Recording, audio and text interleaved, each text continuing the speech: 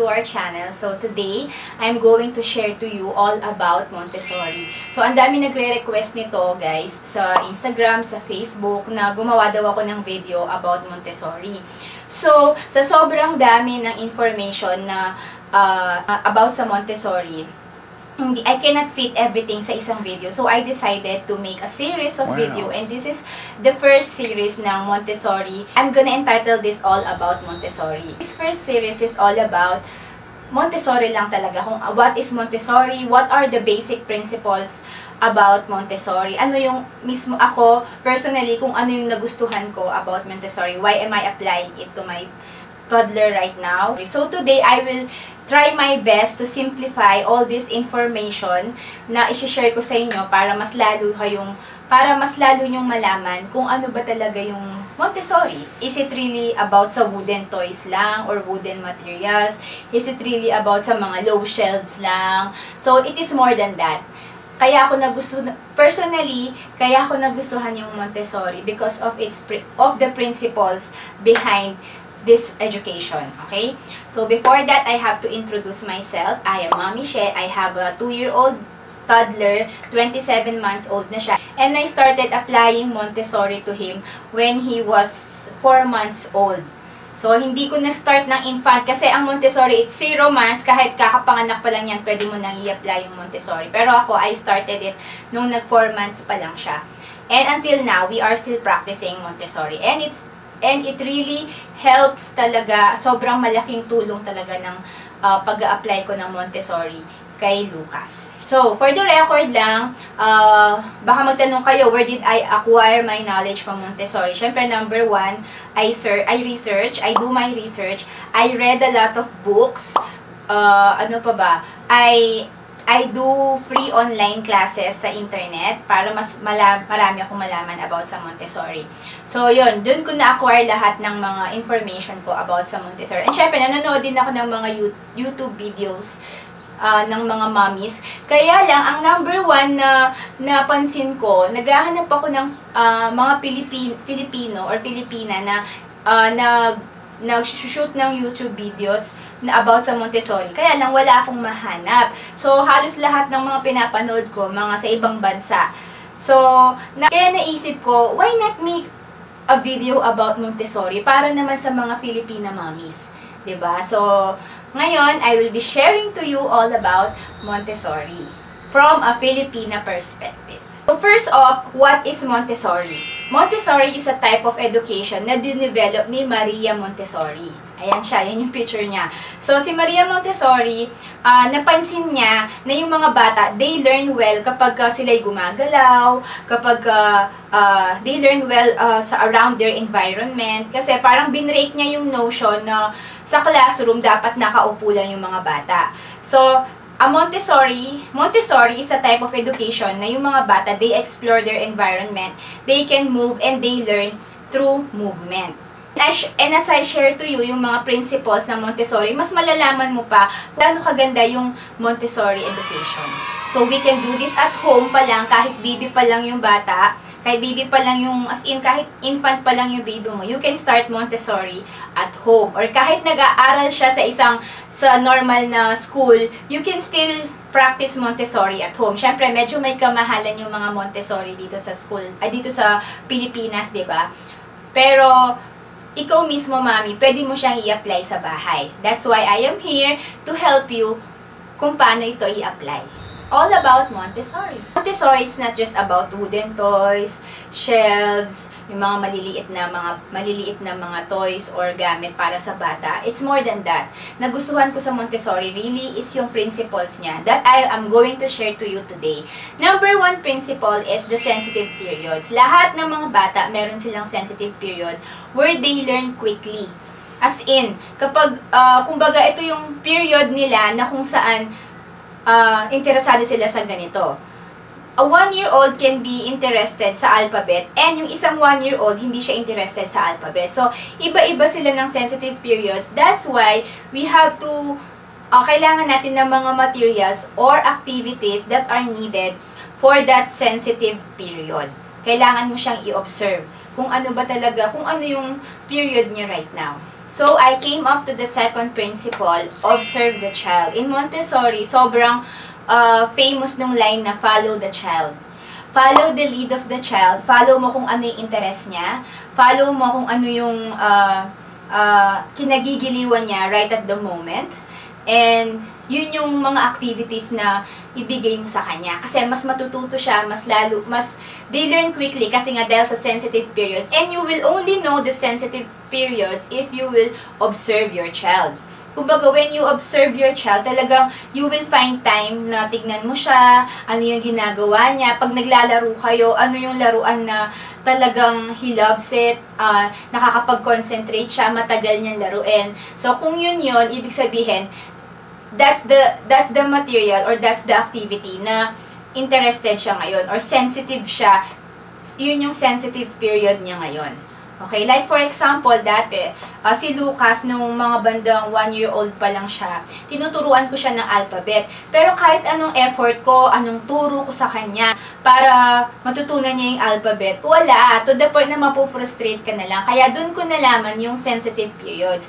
So, nung nag 2 years old siya, dun pa lang, dun ko pa lang nakita na, ay, ang galing na niya sa alphabet. Talagang siya na mismo, tinitignan na niya, kung makakita lang siya ng kahit maliit na maliit na alphabet or letter lang, sasabihin na niya, Mommy, what letter is this? Tapos siya mismo sasagutin niya.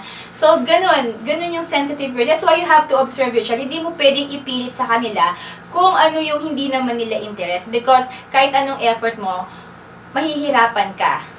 So, number three, kapag nakita mo na yung sensitive period niya habang ino-observe mo siya, prepared environment is the third principle. Sa, sa Montessori, kailangan, yes, you will prepare a yes environment sa bata. Kung pwede kang maglagay ng mga ng mga barrier or ng harang sa mga sa sa places na hindi siya pwedeng pumunta. Pero as long as dapat meron siyang yes environment na kung saan pwede siyang mag-move.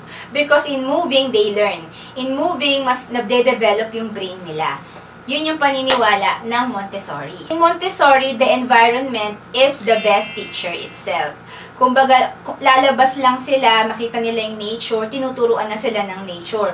Na kung nasa, nasa loob sila ng bahay, you have to prepare an environment for them. Kaya nauso sa Montessori yung mga low-lying shelf, yung mga mabababang shelf na abot ng bata. Para anytime na gusto niyang mag, mag uh, anytime na gusto niyang maglaro, mag-isa niya, hindi ka na niya aabalahin, siya na mismo yung kukuha. Because your environment is prepared for them. Number four principle is yung grace and courtesy.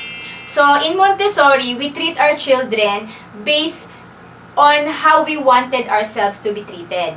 So, gusto mo nang irespeto ka ng bata, irespeto mo din siya. Gusto mo na maging gracious yung bata sa'yo, maging gracious ka din sa kanya. So, kung ano lang yung nakikita nila sa'yo, yun din yung gagayahin nila. Kasi, di ba, lalo na yung mga bata sa ah, lalo na yung toddler period nila, monkey see, monkey do sila. Kung ano yung makita nila sa'yo, yun yung gagawin. Kung ano yung sasabihin mo, yun yung sasabihin din nila. So, we have to be careful na maging gracious sa kanila, maging respectful, you speak respectful words, you speak truthful words for them, para sila din, yun din yung ma-adapt nila. Number five principle is yung children uniqueness lahat ng mga bata, iba-iba sila. Lagi kong sinasabi sa mga video ko that don't compare. Huwag mo i-compare yung anak mo sa anak ng kapitbahay nyo or sa anak ng uh, kumare mo or what.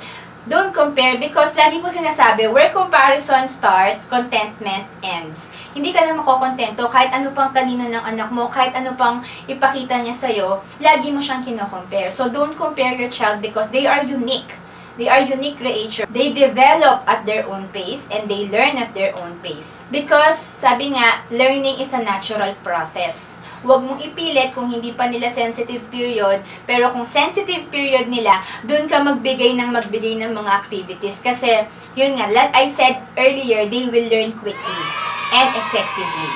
Number six principle is yung self-discipline. In Montessori, uh, they don't really uh, give rewards or punishment.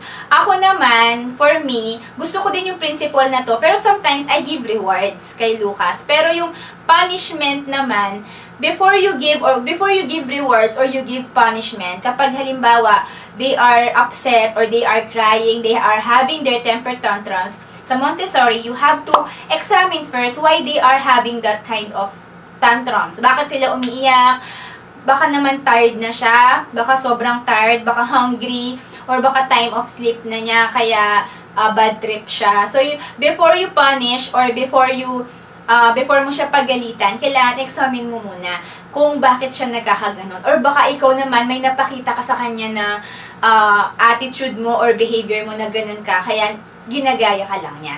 So, we really have to be careful sa mga uh, sinasabi or ginagawa natin. What it really means is, they will learn to discipline themselves.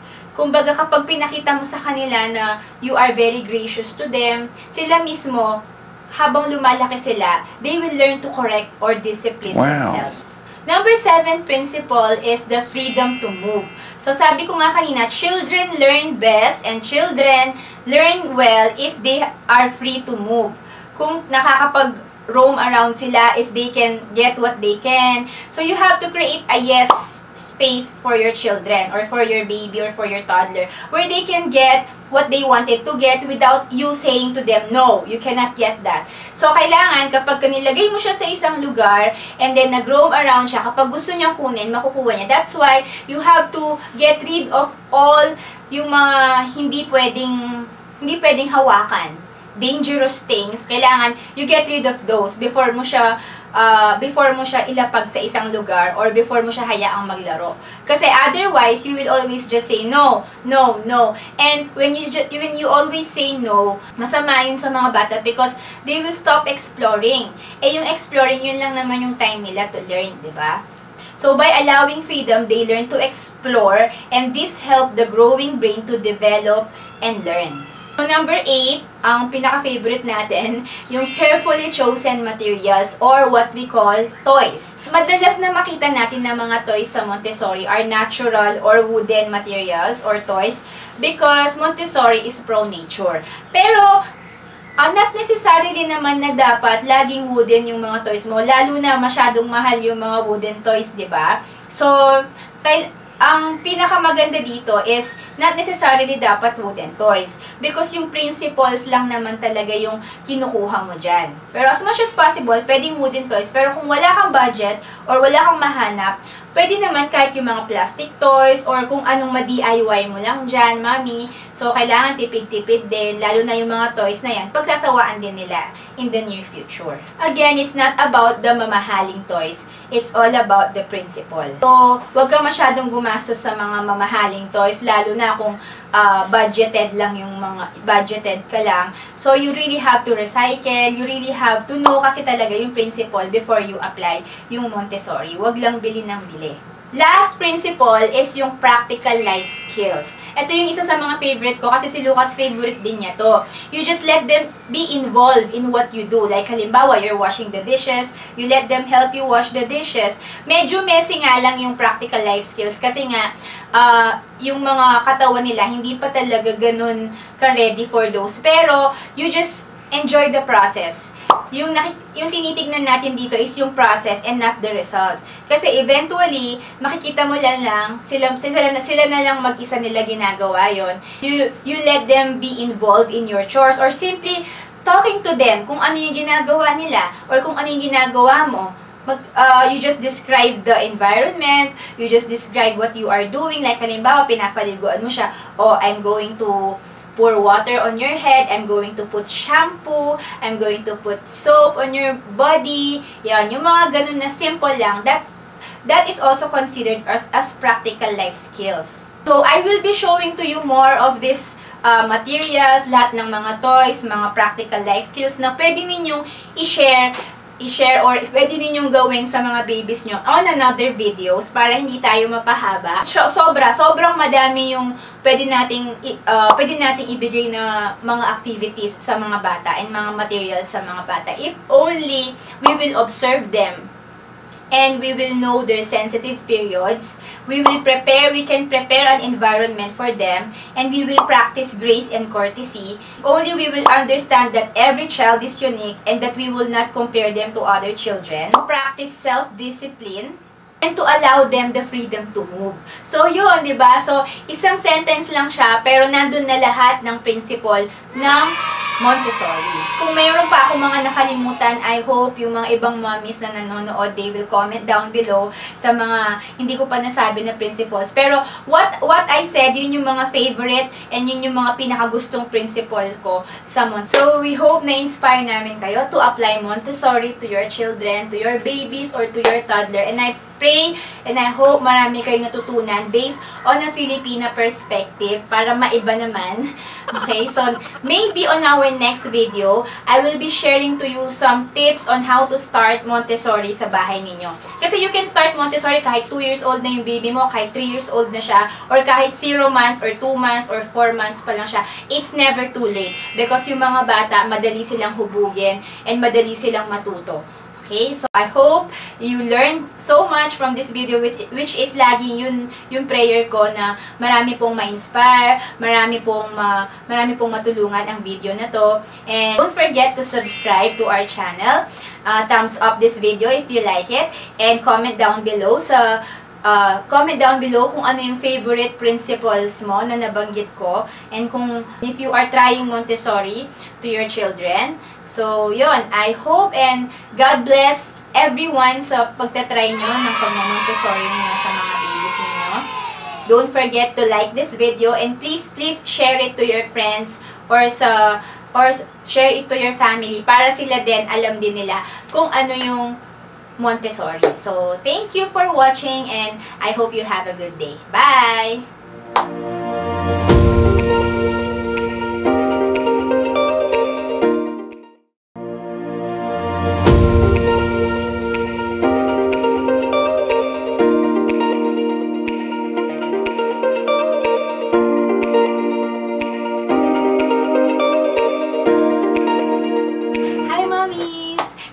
Back to our channel. So today I will be sharing to you the second series of All About Montessori.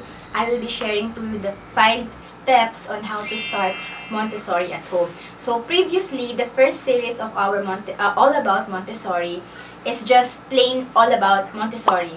I defined Montessori and what are the principles behind that na favorite ko tsaka nagustuhan ko. So I'm gonna I'm gonna put a link on the description box, box below. So, if you want to watch that, please watch it. And mas maganda, watch nyo muna yun before you watch this. But, if you are knowledgeable na and uh, alam mo na yung all about Montessori, you can continue to watch this video. So, without further ado, let's start.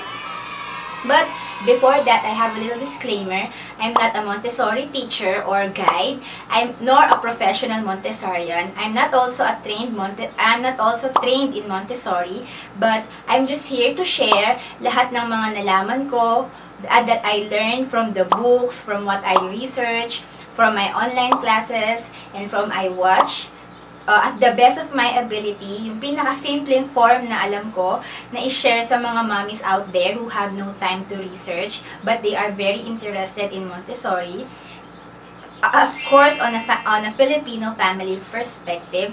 So yun lang, I'm not we are not really strictly 100% Montessori. There are there's so much to learn. Sabi ko nga, marami pang dapat malaman and marami pa akong dapat malaman. So we are always open for suggestions, comments, criticisms, and of course additional learning about Montessori because yun naman talaga, 'di ba? Dito sa community natin, tulungan tayo. So I'm just here to share what I know and I hope you will enjoy this video. So let's start. Okay, step number one, you have to prepare yourself. Okay, in Montessori, it, it is termed as prepared adult. So, ikaw mismo, as a parent, ikaw yung mature, ikaw yung may mature na brain, at ikaw yung uh, alam mo na kung ano yung tama at mali you have to prepare yourself. You have to know what is really Montessori, what are the principles behind Montessori na pwede mong i-apply sa baby mo or sa toddler mo or sa kids mo na pwede mo siyang i-adapt sa lifestyle nyo. So, dapat you really know, you are prepared kung ano yung pwedeng gawin ng anak mo and then after that, you have to be prepared. And sa Montessori, you shouldn't have this preconceived or pre idea na kung ano yung pwedeng gawin ng anak mo. You have to observe them And then, you have to just let them. Let them and you have to know kung kung saan ka lulugar at kung saan, kung sa, kailan mo sila tutulungan, kailan ka mag intervene or kung kailan sila, hahayaan mo lang sila to just be on their own.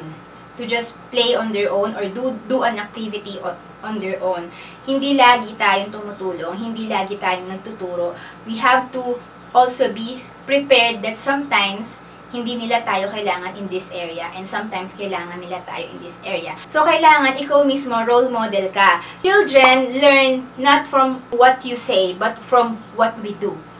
Okay? So, I believe this is very broad, itong pagiging prepared adult. So, uh, baka gumawa ako ng another video for this on how to be a prepared adult. So, stay tuned and I, I pray ikaw mismo you will prepare yourself uh, in starting Montessori. Number two steps, observe the child. So, lagi kong sinasabi in my previous video and on every video is you must follow the child or follow the lead of the child. Observe them on a daily basis on what they are up to at the moment. Kailangan tanong mo sa sarili mo, what is my child interest at the moment? So, start from there. Like, halimbawa, is he more on motor skills or running or uh, or moving a lot, climbing, or is he more on sit-down activities like painting, counting, uh, alphabets, not really on academics, but uh, Montessori is all about everything that the child do. You just have you just have to give them the freedom to move, to the freedom to do whatever they want, and then makikita mo na, you can observe from there, and then you can start from there. So, you must have the time to observe your child every day so that you will see kung ano yung interest nila as of the moment. Number three steps is to prepare the environment. So, ito yung, minsan, ito yung unang-unang ginagawa ng mga parents agad-agad they prepare the toys, they prepare the shelves, pero this is just the third step. Kasi you have to prepare yourself first, you have to observe your child, and then the third step is now you can prepare the environment. If you are starting pa, or you're starting with your baby, no more, wala pang toys, mas maganda. Start small, start, uh, start ka muna sa mga rattles, sa mga mobiles, so, As in, konti muna. Okay? And now, if you have a child na, and tapos marami ka ng mga electronic toys na nabili sa kanya, start ditching them. Pero, iwan mo yung mga educational toys or yung mga tinatawag nilang open-ended toys. Uh, why? Because, kapag kasi sinabi mong mga electronic toys, yun lang yun eh. Yun lang siya. Kapag uh, pinindot niya, gagalaw siya or magsa-sound siya, and wala na siyang wala na siyang malalaman. So, with open-ended toys or yung mga wooden toys or yung mga toys na may shapes, mga may iba't ibang for educational purposes, the child can do whatever they want. So, they can be creative and mas marami silang malalaman. We need the children to unleash their potentials. Okay, so kapag na-ditch mo na yung mga uneducational, noisy, electronic toys, you have some low-lying shelves, and yung mga gamit na pwedeng gamitin ng mga bata on their own, like broom na maliit, like uh, mga cloth na pwede niyang kunin. Yung mga purpose ng low-lying shelf, para may para makuha nila yung mga toys na or mga materials na gusto nilang kunin anytime they want and then they can put them back anytime they are finished. So try to be organized try to be clean, and try to be all orderly. Because we are teaching them self-discipline and we are teaching them independence. Basta start simple, start sa konti lang kasi you are still observing your child. You are still on the area of uh, of knowing what your child's interest is. So, start small. Huwag kang bili agad ng maraming-maraming toys. Start ka dun muna sa interest ng anak mo. And then, eventually, makikita mo naman on your own. Step number four involve the child. Okay, involving the child may mean having the child beside you and and letting them help you on your tasks. It's like practical life skills or simply talking to them about their surroundings. Toddlers especially, mahilig yan uh, kung ano yung ginagawa mo, gusto nila, ginagawa din nila. Si Lucas, yun yung number one talaga na napansin ko sa kanya. Mahilig siya sa uh, practical life skills talaga. Halimbawa, nakita lang niya akong nagwawalis, kukunin na niya agad yung broom niya and then, Mommy, I will help you. You have to involve them on what you do. Kung dati iniiwas natin sila, hindi natin sila sinasali sa mga task natin kasi baka matagalan or messy. So ngayon, in Montessori, you have to involve them. Medyo messy nga lang talaga at medyo matagal because it's always about the process. Which leads me to my last step, embrace the mess, and allow freedom of movement. If ayaw mo ng dumi or ayaw mo ng kalat, huwag mo nang itry. And huwag ka na, huwag ka na mag-try. Kasi at first talaga, madumi, makalat, sobrang uh, messy, ganun. Lalo na if you let them eat on their own. They, you will let them get what they want to get. You will let them uh, help you on your task sobrang makalat, sobrang matagal ang process. But, sabi ko nga, it's always the process and not the result. But, sa katagalan, you will see talaga kung ano yung madudulot niya. You will find them returning their trays on the shelf. Tapos parang automatic na lang sa kanila na kapag may kinuha sila, tapos pagtapos na sila, ibabalik na lang nila. You don't have to tell them So, kanina sinabi ko dun sa prepared environment, you have to be orderly, you have to be organized. Kasi, kung ano yung nakikita ng bata, kung saan siya nasanay, yun yung kakalakihan niya. Without just, without just telling them, you have to show them. Like, for example, kay Lucas, for example, may kinuha siya, ikinuha niya yung uh, alcohol niya sa, uh, dun sa kung saan yung alcohol automatic sa kanya na after niyang ginamit, kahit hindi na namin sabihin sa kanya na ibalik niya, automatic na ibabalik niya. So, sabi ko, grabe, ganito pala yung uh, result ng Montessori. So, this is just a part of their principle. Pero, ang ganda na ng mga nagiging result sa bata. Whenever he is hungry, dahil merong naka-prepare na snack sa kitchen niya, kukuha lang siya ng bowl and kukunin niya yung snack niya. Siya mismo, he will prepare his own snack without disturbing me. So, ganun siya kaganda. So, I pray kayo din, uh, malaman nyo and makita nyo kung yung magic actually it's not the magic really how you prepare the environment for them and how you involve them on on tasks that they wanted to be involved. So you just have to embrace the mess and after that makikita mo rin kung ano yung result ng lahat ng mga pagpapagod mo sa baby mo or sa toddler or sa kids mo. Remember to start small. Rotate lang ng toys because sa Montessori, less is more. Lalo na kapag baby pa yan at toddler, sobrang konti pa lang ng mga toys niyan. And you just have to enjoy kung ano yung ginagawa mo. Because without a happy mommy, hindi rin magiging happy yung baby mo. You have to be happy on what you do. You have to enjoy what you do so that yung baby mo, makikita niya na masaya ka and siya din, magiging happy baby din siya. So that's it. I hope you learned so much from this video. Don't forget to like this video, give this video a thumbs up, subscribe to our channel para mas marami pa kaming video like this na magawa. Please stay tuned on our third series of All About Montessori.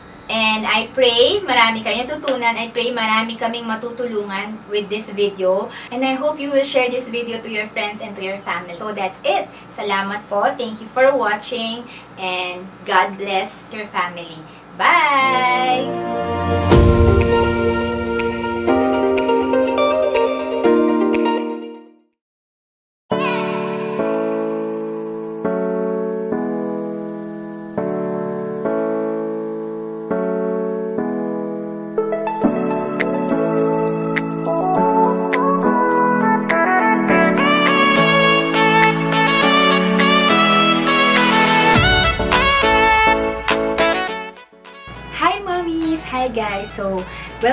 Our channel. If you are new here, I am Mommy She. I have a 2-year-old baby boy named Lucas. We do family vlogs, vlogs related to babies and toddlers, baking, parenting, breastfeeding, and all about Montessori.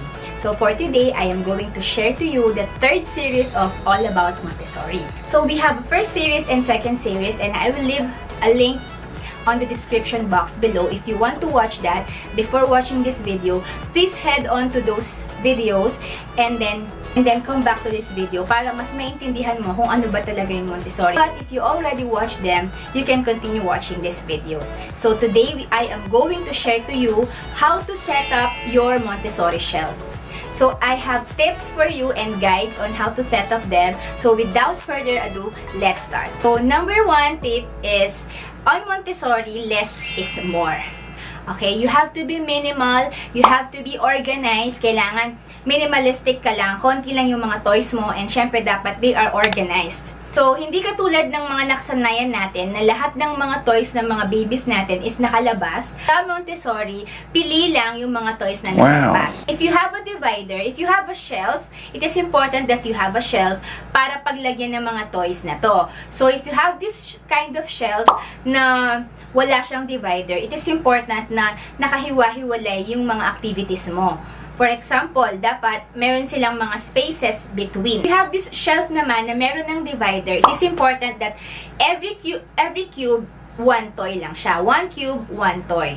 Para hindi malito yung mga bata and para ma-separate yung mga activities. So, yung mga shelves, shelves should be low and accessible. Dapat kung kailan gustong kumuha ng mga bata or kailan nila gustong ibalik, ng mag-isa nila, kaya nila. So, ano nga ba ang benefits ng low shelf? Siyempre, unang-una, sabi ko nga kanina, they can easily reach kung ano yung gusto nilang makuha na toy. Pangalawa, they can easily see yung mga activities. So, it is very attractive to them to get the, the activities kasi nakikita nila. And then number three, to instill yung sense of order and organization sa mga bata. And then lastly, it makes clean up very easy. So kapag ka merong mga, lalo na yung mga maliliit na, uh, uh, mga maliliit na toys or mga puzzles, kapag hiwa-hiwala yung mga, uh, mga materials mo, madali lang silang i-clean up. And not unlike kapag uh, magkakasama sila sa isang basket, tas nandun na lahat. So mahirap, una-una, mahirap hanapin, tapos mahirap linisin. So yun yung mga benefits ng low shelf. And kapag organized ka and orderly yung mga materials and activities ng bata. So number two tip, you have to put a variety on his activities. Kapag halimbawa, meron ka ng isang activity na puro puzzles siya, hindi pwedeng lahat ng mga activities niya all about puzzle. You have to put a structure on his play because play is the work of the child. Sa paglalaro nila, dun sila natututo, dun sila nag explore Kaya sobrang importante ng paglalaro sa mga bata. A child deprived of play is deprived of learning and education or deprived of discovery kaya kailangan, we let them play. We give them the necessary materials, we, give them the necessary toys for them to learn. Toys are not to entertain them. Toys must be to educate them and to let them explore and discover things. So, paano mo malalaman kung ano yung mga ilalagay mo na toys na variety sa shelf? You must, again, follow the child observe the child interest at the moment and dapat alam mo kung ano yung sensitive period niya which I will be talking sa mga next video, sa mga series, sa mga next series ng ating All About Montessori, yung ating sen yung sensitive period ng mga bata. So, kailangan, uh, you must follow the, the, the lead of the child, kung ano yung interest niya as of the moment. Kailangan yun yung mga ilagay mo sa kanyang shelf. So, as a starting point, I will be sharing to you the shelf of Lucas for this month. Kung gusto niyong panoorin yung Montessori shelf niya last April and May, I will leave also a link down below the description box. So, this month, nag-rotate na kami ng mga toys and I will share to you para meron kayong guide kapag ka nag-set up na kayo ng Montessori shelf nyo. So, eto na. So, this is what his actual shelf looks like. So, or actual play place. Ayan yung play place niya. This is his shelf. Ito yung kung saan, niya, kung saan siya kumakain and where he where he make his artworks, where he reads. This is his kitchen. Ginagawa niya. This is really a practical life kitchen and a kitchen na pwede niyang mag-pretend play. Ito yung madalas niyong makita sa video. So, we will start dito sa taas. Dito sa taas, nandito yung kanyang mga uh, different kinds of cars. And this one is a slippery car truck. This will help them sa pagbabasa kapag ka later on pag magbabasa na sila. And syempre, this is all open-ended play. Ayan, kasama na tong rainbow stock, rainbow niya. And then also this uh, far track that he really loves to play with. The first uh, square here, big square, it's all, this is all about language slash alphabets. Okay, so if you will see here, meron din siya ditong pang sensorial. And syempre also for al alphabets, these knob cylinders. Also para din uh, tumigas yung hawak niya sa ballpen or sa pencil para pag nagsulat siya, makakatulong sa kanya. And then also this flashcards. Uh, for letters, big letter and small letters. Also, this kind of letters na pwede niyang hawakan because as you know, sa Montessori, they are more on practical. So, mas effective para sa mga bata kapag naahawakan nila. Kuha ako ng dalawang uh, tray para i-separate yung mga activities. So, dito sa first activities, ito yung mga animals niya. Ang activity niya ngayon dito sa mga animals niya is matching with their young. Okay, if you will see, ito yung baby, uh, ito yung big giraffe and meron siyang small giraffe dito. So, ayan. So, uh, he's studying the concept of big and small and medium. And also the concept of daddy, mommy, and baby. Itong animal shelf niya na to, slash science shelf slash language corner. Tagal na to dito. Siguro mga nasa 3 months na siya or more. Pero iniiba-iba ko lang. And minsan nilalagyan ko ng flashcard and everything. Kasi favorite niya tong corner na to. Lagi niya tong uh, hinahanap. And then this one naman are his puzzles. Okay. Ito yung mga puzzles niya. Of course, it helps him for his hand-eye coordination and cognitive skills. Yung mga puzzles na yan. So, next, if we go down here, you can see this tray. I call this emotional emotional uh, flashcard tray. So, because it's is sensitive period for emotional control na until 2 and a half years old. So, madalas siya ngayon yung pag-iyak niya, madalas yung pag-ina-inerte na different kind of emotion niya. So, uh, naglagay kami ng emotion cards dito para ma-identify niya kung ano yung emotion na nararamdaman niya different kinds of emotion yan that I printed lang on my own. Is his music corner. Madami siya actually guitar, marami siya actually mga uh, musical instrument, but uh, inire-rotate-rotate ko lang to. Meron siyang piano, guitar, and his cymbals. This is his mathematics corner. So, ayan. Uh, I will not teach him mathematics yet, but syempre, sa pagbibuild nila ng blocks, natututo siya kung ng calculation. Kailangan bata pa lang natitrain na sila. So, lahat ng ginagawa ng bata, either play lang yan or what, it is their work and natututo sila. So, ayan. This is also for open-ended play. Building blocks. This corner is his crayons. And sometimes, ito yung painting niya.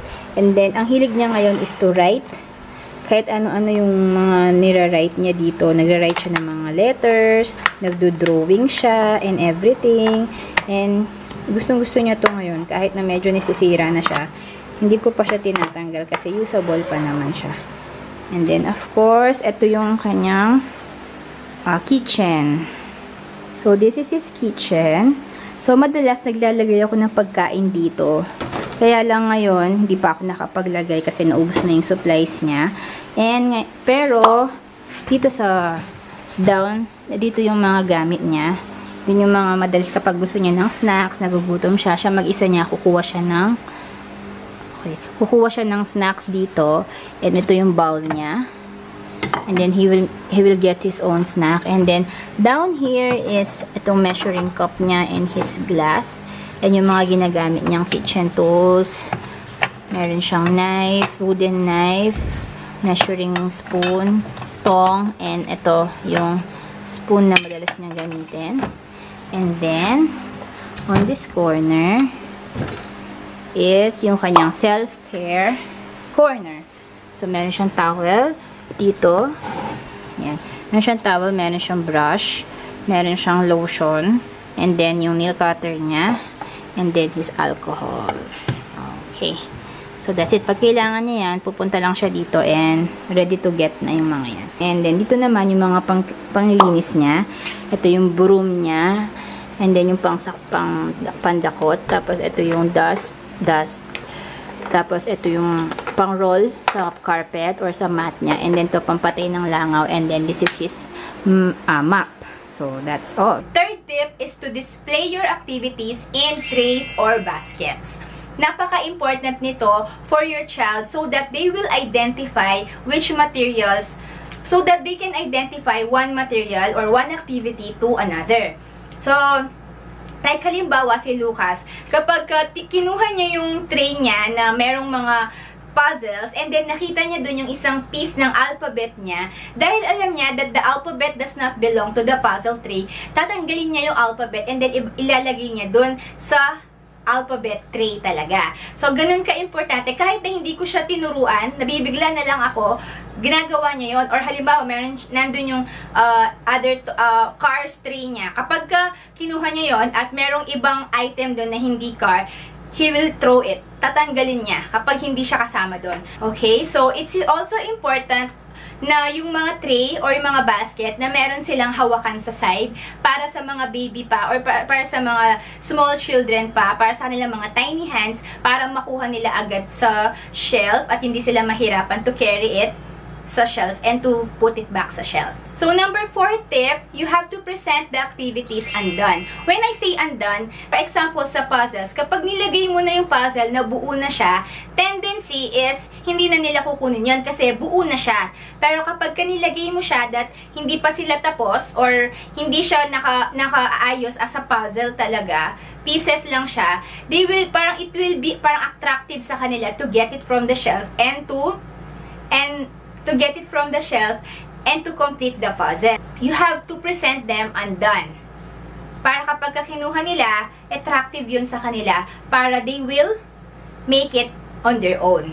Number five tip is to rotate the toys.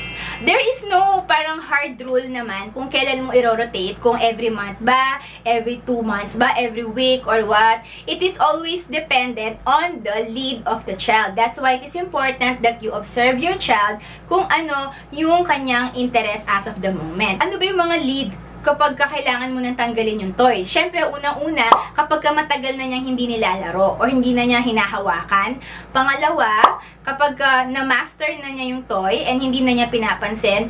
And number three, kapag sira siya or merong missing piece. It is important that you limit your activities to 8 to 10 activities only. Para hindi sila na-overwhelm and para mabilis silang makahanap ng activity na gusto nila. So, yun nga, there's no set schedule para sa pagpapalit ng mga items mo. It always depend on the lead of the child. Important tip then is do not remove the item that is always played. Kahit gano'n pa yan katagal, sa shelf niya, kahit 2 months, 3 months na, kung lagi niyang nilalaro yan, kung lagi niyang kinukuha yan, so be it. Hayaan mo siya. Like for example, kay Lucas, yung mga animals nomenclature niya, ang tagal na nun sa shelf niya. Sobrang tagal na. Ang ginagawa ko lang, minsan nilalagyan ko ng flashcard, minsan uh, matching sila ng baby, uh, baby uh, mother animal and baby animals. Iba-ibang activities, pero never ko pa siyang tinanggal doon kasi lagi niyang nilalaro yon And every time na nagbabasa siya ng book, which is most of their books, uh, most of their books consist of animals, animals uh, characters. Pag nagbabasa siya ng book, kapag may nakita siyang lion doon, kukunin, kukuha, kukunin niya yung lion niya sa shelf niya and then i-match niya. Yun nga, do not remove any item that is always played because maybe there's a need for repetition, minamaster pa nila lalo yon and there's a sense of fulfillment for them na kapag ka nabuo nila yon or pag ginagamit nila yon sumasaya sila, maybe it is also a stress reliever for them. So what about books naman? Sa mga books naman, it is important na meron siyang sariling shelf or lalagyan sa mga books niya. Imbis na ilalagay natin sila ng parang ganito, we have to face the books na nakaharap yung cover nila. So, yun. They should see the cover of the book and it should be accessible for them. If wala kang shelf na nakaharap yung mga books mo, you can you can always uh, you can also use alam niyo yung mga spice rack sa IKEA. Yan, pwede rin yung mga yan. Or if wala ka talagang shelf, pwede kang kumuha ng basket and dun mo ilagay yung mga books syempre dapat few books at a time lang. Huwag mo lahat ilagay yung mga books niya. Ako, for example sa akin, I use this cart na nila na na lalagyan ng mga blocks niya dati. Nilagyan ko ng mga books ito and then finish forward ko yung mga books niya para anytime na gusto niyang gusto niyang kunin, makukuha niya. And then it is very accessible for him. And yeah, I just DIY'd it. I just DIY that kasi wala akong shelf. So that's it for today. I hope you learned so much from this video. And if you have set up your shelf after this video, please send nyo yung picture sa akin para makita ko because I will be so glad na natulungan ko kayo sa pagsiset-up ng Montessori shelf ninyo. Don't forget to subscribe to our channel para updated kayo because we upload videos 2 to 3 times a week. Please like this video and comment down below ng mga additional tips nyo pa kung paano mag-start ng Montessori shelf. And don't forget to share this video to your friends and family. Saying thank you for watching and I hope you learned so much from this video. See you on our next video guys. God bless you and your family. Bye!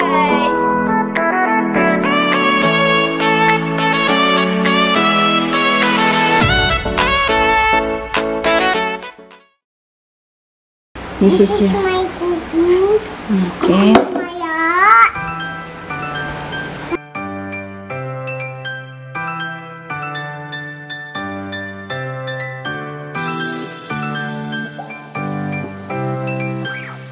Hi guys! Welcome back to our channel. If you are new here, I'm Mom She. I have a 2-year-old toddler named Lucas. We do family vlogs, vlogs related to babies and toddlers, parenting, mommyhood, Montessori, discipline, and everything under the sun. So for today, I am going to share to you the shelf, Montessori shelf of Lucas for the month of June to July. So, Maraming nagre-request nito actually sa Instagram at yung mga mommies na lagi daw ako mag-share ng mga shelf ideas. So, for today, I'll be showing you the shelf of Lucas. I will be giving you a tour sa shelf niya. So, without further ado, let's start. So, ito yung itsura ng buong play place niya. Hi! Okay. So, meron siyang konting swing and slide there. This is his mat. Ito siya. Ito yung additional shelf niya na dati niyang store. And then, ito yung mga paintings niya. Tsaka yung mga practical life skills tools niya for cleaning. Other paintings. Books. Couch. His mat for the cars. Yeah. This is his main shelf. This is his chair and this is his kitchen. So, this is what his shelf looks like today. Ayan. Nag-rotate din kami ng mga furniture. Yan. So, the first one is the Animal. animals. So, ito, lagi itong nasa shelf niya. Nilagyan ko lang ngayon ng mga flashcards. So, ito yung, so, sa wild animals kami this week. Baka next week palitan ko to ng farm animals. Okay. Are you gonna show them how you match?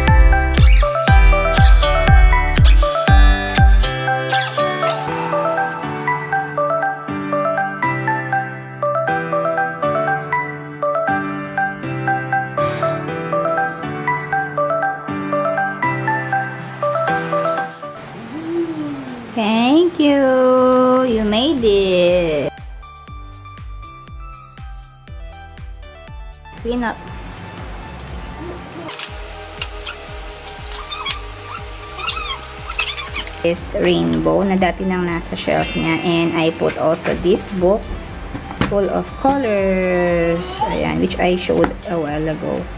Kasama rin to sa binili namin sa book sale and it cost 90 pesos. Yes, that's your ball. And then next are these monster trucks. Matagal na itong mga to, binalik ko lang. Kasi mahilig siya ngayon sa mga cars. Show them how you play your cars. Down here, we have this uh, pretend play section. Ito yung bago sa kanya. Although dati na niya nilaro to, binalik ko lang. Itong family dolls that she really, he really loves playing and itong apat na to na love niyang laruin. Kapag ka nalulungkot siya or upset siya, kukuha siya dito. So, these are his comfort, uh, comfort toys. Together with this magnet tiles here, itong lalagyan niya na super love ko, I bought this at Daiso. Only 88 pesos. So, pinagsama ko sila kasi madalas ginagawa, gumagawa siya ng bahay and then ito yung mga ginago, nilalagay niya na characters. Is alphabets. Dito kami ngayon sa lowercase letters. Memorize na niya lahat kaya lang mas pinapa-familiarize pa namin. And then the letter A here, I'm planning to put flashcards here that all na nag-start lahat sa letter A. Under it are these blocks na dati nang nandito. Ayan. And then beside is the new one that we bought. Na nandito yun sa Shopee haul ko. Yung doctor's kit. So, what's behind, what's inside your doctor's kit? Can you show them? That.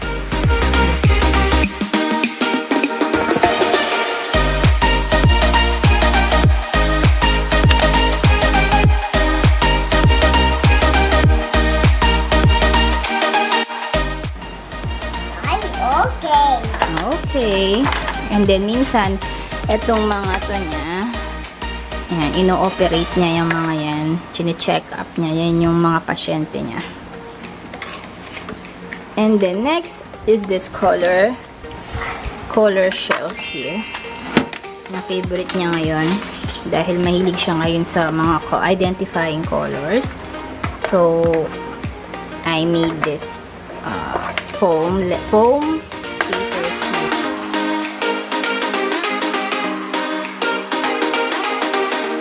On this corner, it's his second shelf. Oh, hi Lucas. So here we have this shape sorter and also they have different colors and different shape that we put them here.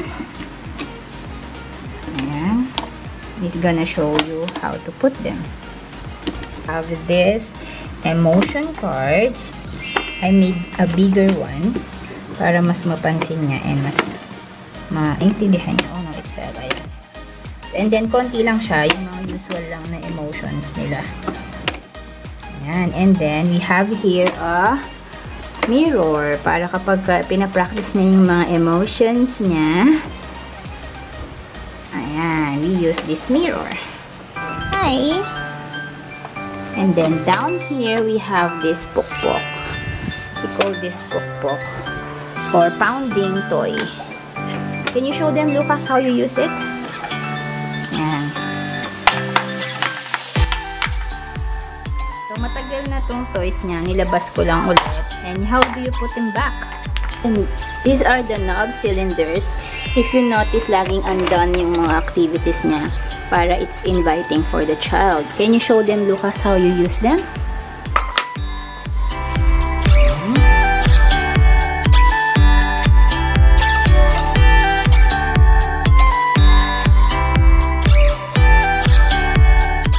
The ball corner dahil mahilig siyang mag-throw ng toys niya. So, I always redirect him to throw these balls here.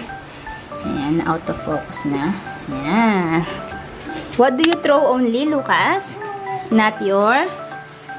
Yes, not your toys. Yan, like that. Thank you. Okay, so next are his books. He wanted to show you his books. Can you show them your books? So these are the one that I thrifted from the book sale. So this is the first book that is gonna show you. This is the Dear Zoo na sobrang mahal nito sa Amazon. Pero I thrifted it for only how much anak? 90 pesos!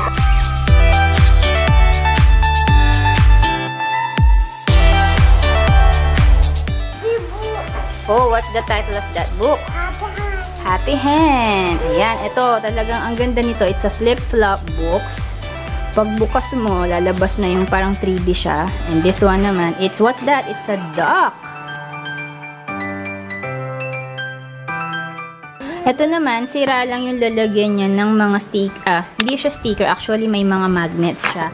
Where are the, this one like this? Oh, ayan. Tapos, nadidikit siya sa book. Ito naman, pangarap ko to dati bilhin sa kanya. Tapos biglang nakita ko siya sa book sale. Ayan, mga ABC, ganon, and lahat ng, bawal letter K, lahat ng letter K. And it only cost us, how much? 165 and sobrang bago pa niya. And ito yung isa sa mga favorite niya, Playtime Peekaboo. Yes, ayan. Ito, gustong gusto niya to kasi these are parang nafe-feel mo talaga siya.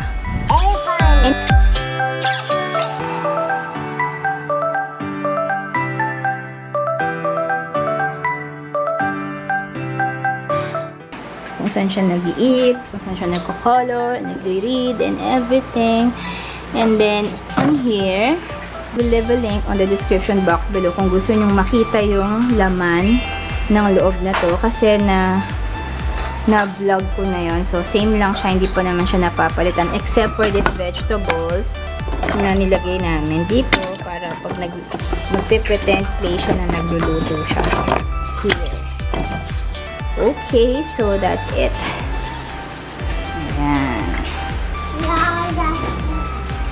So, I hope you like this video. I hope marami kayong natutunan sa videos na to.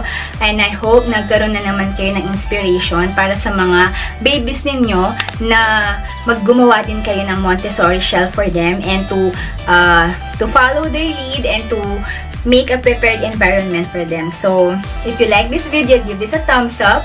Don't forget to comment down below yung mga thoughts ninyo about these videos. And if you want more of videos like this, please do subscribe to our channel and click the bell button para lagi kayong updated sa mga videos namin because we upload videos 2 to 3 times a week.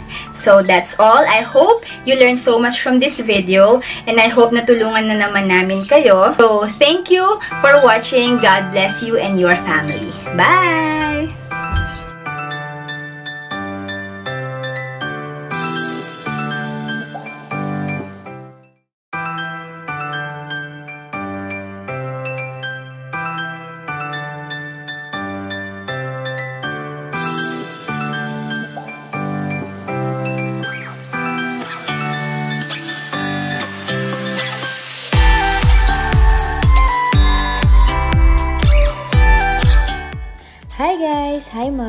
Welcome back to our channel. So, this is Mommy She. Today we are going to show you a tour of our toddler's mini kitchen and dining corner. Hope you will watch until the end. So, without further ado, let's start!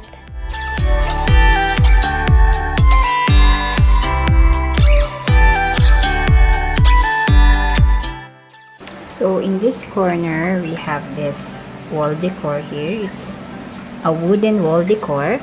And here we have the chopping board where he chop his fruits, vegetable, or this is also where he prepare his breakfast. There is a basahan here, wet basahan, so that he can wipe kung ano man yung madumi, kung dudumi man yung chopping board. And then here we have fruits always available. Of course, with assistance pa. So, dati itong yan, ganyan yung function niya dati. Pero dahil hindi naman niya masyadong nilalaro, we make it a functional kitchen and we put some fruits here. And then, as we go along, down here, and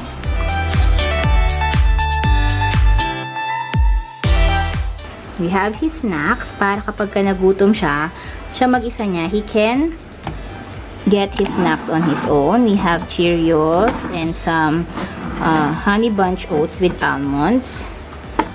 And then, we also have here mga leftover kasi dito eh. So, dito niya nilalagay yung mga leftover. Yung Nutri-Bar niya and some butter butter cookies. Okay, and then here in the bottom we have some utensils. We have his knife that he can use for chopping his fruits. Some more tongs. Uh, this one for mixing. And this one for scooping. And here we have some of his plates and his glass jar glass cup and then as we move along here hope it won't close as we move along here we have his self-care kit. Meron siyang diaper. He get his own diaper. Hindi pa kasi siya potty train. Wala pa akong oras mag-potty train sa kanya. His massager. His uh, brush. His uh, mosquito lotion. And his alcohol. So, this is his functional kitchen or sink. Kitchen sink. Ayan. This is just an old table that we repurposed. We painted it white and then binutas namin para bumaba itong uh, functional sink niya. And then we have this wall painting over here. Ayan, we just printed this on our own. And then, ito yung faucet niya na working siya. So, basically, umiikot lang yung tubig.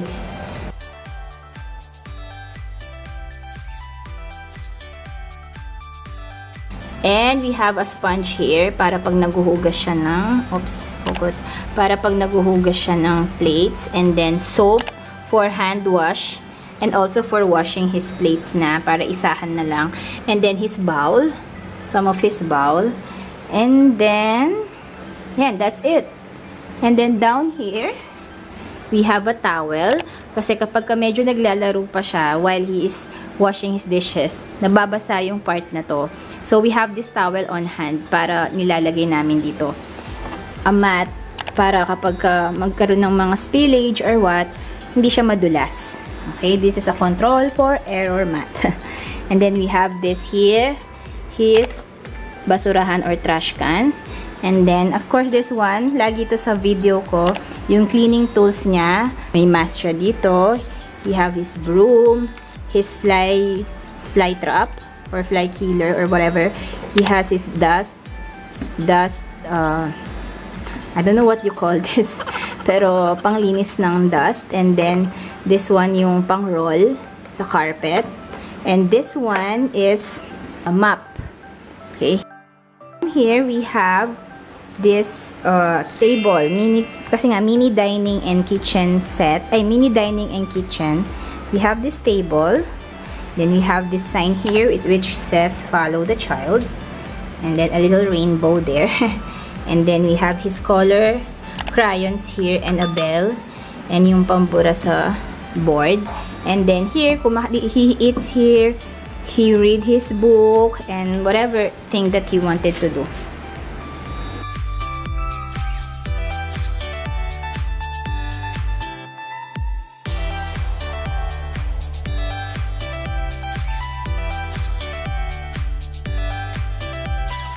Above here is our little window decor. We have this fake plant here na merong uh, babasagin na white pot. And then this one that he used for gardening. Pagka nasa labas kami, he used this for watering the plants. And then this one, nilagay lang niya dito ito. And this one here, this little design here says that says Jesus loves me. Think this one also lights. Ayun, nagla-light siya. Okay, so yun lang. That's all, mommies. Ito yung full view ng kanyang mini kitchen. That's it for today. Don't forget to subscribe to our channel. Please like this video and comment down below to say hi. Please share this to your friends and family. Thank you for watching. God bless you and your family. Bye! Thank you.